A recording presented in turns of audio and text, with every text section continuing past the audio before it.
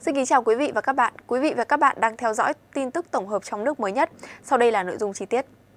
Thưa quý vị, vụ hỏa hoạn đặc biệt nghiêm trọng tại trung cư mini ở Khương Hạ, quận Thanh Xuân, thành phố Hà Nội khiến 56 người tử vong, nhiều người bị thương và thiệt hại lớn về tài sản. Bên cạnh trách nhiệm của chủ đầu tư, cơ quan chức năng chính quyền địa phương trong công tác quản lý trật tự xây dựng, phòng cháy chữa cháy, dư luận cũng quan tâm đến việc hỗ trợ giúp đỡ cũng như các khoản bồi thường mà gia đình các nạn nhân có thể nhận được để sớm ổn định cuộc sống. Liên quan đến vụ án, cơ quan cảnh sát điều tra công an thành phố Hà Nội đã ra quyết định khởi tố vụ án, khởi tố bị can và bắt tạm giam Nghiêm Quang Minh, chủ chung cư mini xảy ra hỏa hoạn để điều tra về tội vi phạm quy định về phòng cháy chữa cháy theo điều số 313 Bộ luật hình sự. Như đã đưa tin, vào đêm ngày 12 tháng 9, lực lượng chức năng nhận tin báo cháy tại nhà dân ở ngõ 29 trên 70, phố Khương Hạ, Nơi xảy ra cháy là căn nhà 9 tầng một tum, có nhiều người mắc kẹt bên trong. Sau 45 phút xảy ra hỏa hoạn, đám cháy chung cư mini cơ bản được khống chế, không để cháy lan ra các nhà dân xung quanh. Lực lượng chức năng đã giải cứu được 70 người bị mắc kẹt và đưa những người bị thương đi cấp cứu tại bệnh viện. Theo cơ quan chức năng, cháy chung cư mini khiến 56 người tử vong. Với hậu quả đặc biệt nghiêm trọng sau vụ việc, theo luật sư Lê Hồng Hiển, Giám đốc công ty luật trách nhiệm hữu hạn Lê Hồng Hiển và cộng sự đoàn luật sư Hà Nội, Nghiêm Quang Minh sẽ đối diện với khung hình phạt cao nhất của tội danh nêu trên là từ 7 đến 12 năm tù với một loạt các tình tiết định khung tăng nặng, đó là làm chết từ 3 người trở lên, gây thương tích hoặc gây tổn hại cho sức khỏe của 3 người trở lên mà tổng tỷ lệ tổn thương cơ thể của những người này là 201% trở lên, gây thiệt hại về tài sản 1,5 tỷ đồng trở lên. Theo quy định tại Điều 62 Bộ Luật Tố Tụng Hình sự, thì bị hại là cá nhân trực tiếp bị hại về thể chất, tinh thần, tài sản hoặc là cơ quan, tổ chức bị thiệt hại về tài sản, uy tín do tội phạm gây ra hoặc đe dọa gây ra. Do đó, trong vụ án này, các nạn nhân xấu số được xác định là bị hại và có các quyền quy định tại khoản 2, điều 62 Bộ Luật Tố Tụng Hình sự. Một trong các quyền của bị hại hoặc người đại diện của họ đó là quyền đề nghị mức hình phạt đối với người phạm tội, mức bồi thường thiệt hại, biện pháp đảm bảo bồi thường, tranh luận tại phiên tòa, tự bảo vệ hoặc nhiều luật sư bảo vệ quyền lợi cho mình. Theo đó, quyền bồi thường có thể liệt kê sơ lược như sau. Đối với nạn nhân tử vong, các khoản chi phí cấp cứu, mai táng, cấp dưỡng cho người mà bị thiệt hại, có nghĩa vụ cấp dưỡng nếu có, tiền bù đắp tổn thất về tinh thần. Đối với nạn nhân bị thương, tổn hại sức khỏe, các khoản chi phí cấp cứu, bồi dưỡng, hồi phục sức khỏe, thu nhập thực tế bị mất hoặc giảm sút, chi phí và thu nhập thực tế đối với người chăm sóc, khoản tiền bù đắp tổn thất tinh thần. Đối với thiệt hại tài sản, tài sản bị mất, bị hủy hoại hoặc hư hỏng,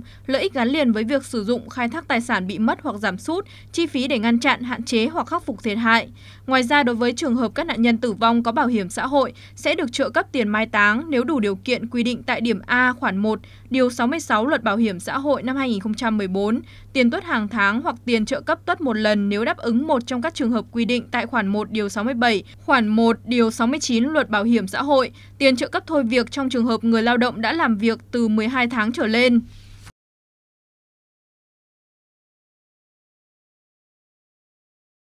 Sau vụ cháy chung cư mini ở thành phố Hà Nội khiến 56 người thiệt mạng, nhiều người bị thương, gây thiệt hại nặng nề về tài sản. Điều được nhiều người quan tâm là trách nhiệm bồi thường thuộc về ai.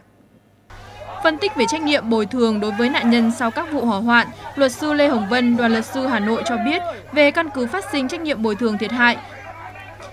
Điều 584 Bộ Luật Dân sự năm 2015 quy định, người nào có hành vi xâm phạm tính mạng, sức khỏe, danh dự, nhân phẩm, uy tín, tài sản, quyền, lợi ích hợp pháp khác của người khác mà gây thiệt hại thì phải bồi thường, trừ trường hợp bộ luật hoặc luật khác có liên quan quy định khác. Người gây thiệt hại không phải chịu trách nhiệm bồi thường thiệt hại trong trường hợp thiệt hại phát sinh là do sự kiện bất khả kháng hoặc hoàn toàn do lỗi của bên bị thiệt hại, trừ trường hợp có thỏa thuận khác hoặc luật có quy định khác. Trường hợp tài sản gây thiệt hại thì chủ sở hữu, người chiếm hữu tài sản phải chịu trách nhiệm bồi thường thiệt hại, trừ trường hợp thiệt hại phát sinh theo quy định. Như vậy, cá nhân có hành vi xâm phạm tính mạng, sức khỏe, danh dự, nhân phẩm, uy tín, tài sản, quyền, lợi ích hợp pháp khác của người khác mà gây thiệt hại thì phải có trách nhiệm bồi thường. Trong vụ cháy trung cư mini ở Hà Nội vừa qua, thiệt hại về người và của là vô cùng nghiêm trọng.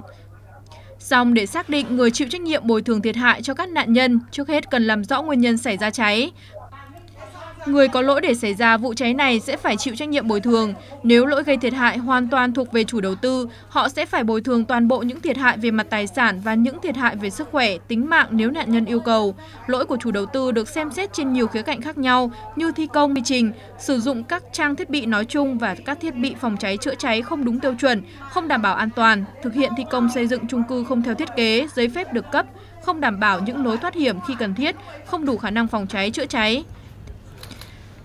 Theo thông tin ban đầu từ cơ quan chức năng, chủ chung cư không được cấp phép phòng cháy chữa cháy, không có phương án phòng chống cháy nổ để đảm bảo an toàn về tính mạng, tài sản cho các hộ dân, xây dựng sai phép, do đó ngoài việc phải chịu trách nhiệm hình sự về tội vi phạm quy định về phòng cháy chữa cháy, nếu có đủ căn cứ chứng minh, cá nhân này còn có thể phải bồi thường thiệt hại về tính mạng và tài sản cho các gia đình nạn nhân.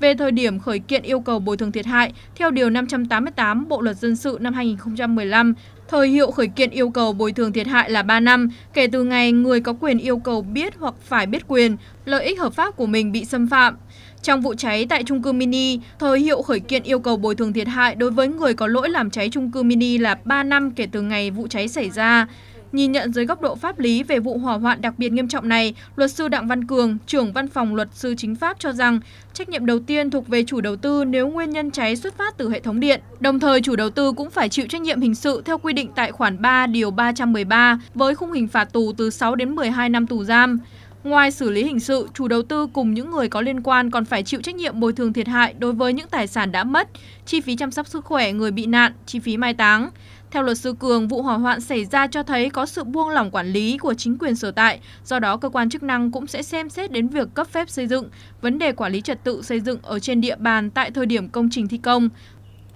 Bởi theo giấy phép xây dựng, ngôi nhà được cấp phép xây dựng 6 tầng, chiều cao cho phép của công trình không quá 20,2 mét song trên thực tế chủ đã cho xây lên 9 tầng và mùa tum. Luật sư Cường nhấn mạnh phải làm rõ để công trình xây vượt quá giấy phép như vậy có đúng quy định của pháp luật hay không. Chính quyền địa phương, cơ quan quản lý về trật tự xây dựng có biết về hành vi xây dựng sai phép đã xử lý hay chưa, hình thức xử lý thế nào, vì sao không buộc tháo rỡ công trình vi phạm hay dung túng cho hành vi sai phạm.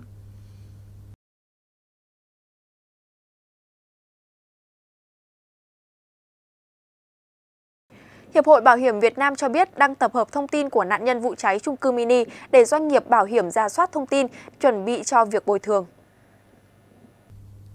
Về việc bồi thường bảo hiểm cho nạn nhân vụ cháy trung cư mini, Hiệp hội Bảo hiểm Việt Nam thay mặt doanh nghiệp bảo hiểm gửi lời chia buồn sâu sắc trước những mất mát về người quá lớn. Tại vụ việc trên, Hiệp hội Bảo hiểm gửi tới cơ quan chức năng 300 triệu đồng hỗ trợ nạn nhân. Hiệp hội Bảo hiểm cho biết hiện có 51 doanh nghiệp bảo hiểm cả nhân thọ và phi nhân thọ, nên việc xác minh thông tin của các nạn nhân có thể chưa được đầy đủ kịp thời. Hiệp hội sẽ làm việc với cơ quan, đơn vị, nơi các nạn nhân từng học tập và công tác để cập nhật thông tin như số căn cước công dân, họ tên, ngày, tháng, năm sinh, mức độ thiệt hại về người và tài sản của các nạn nhân bị thiệt hại trong vụ cháy và chuyển tới doanh nghiệp bảo hiểm. Hiệp hội Bảo hiểm Việt Nam cam kết sẽ chỉ sử dụng thông tin vào mục đích giải quyết quyền lợi chính đáng cho các nạn nhân một cách nhanh chóng và đầy đủ. Trước đó, Cục Quản lý Giám sát Bảo hiểm, Bộ Tài chính gửi công văn yêu cầu Hiệp hội Bảo hiểm và doanh nghiệp bảo hiểm nhanh chóng giả soát, bồi thường cho các nạn nhân vụ cháy trung cư mini. Tổng Giám đốc Bảo hiểm xã hội Việt Nam Nguyễn Thế Mạnh yêu cầu Bảo hiểm xã hội Hà Nội tạo mọi điều kiện tốt nhất đảm bảo quyền lợi về bảo hiểm xã hội, bảo hiểm y tế cho các nạn nhân vụ cháy trung cư mini ở Hà Nội.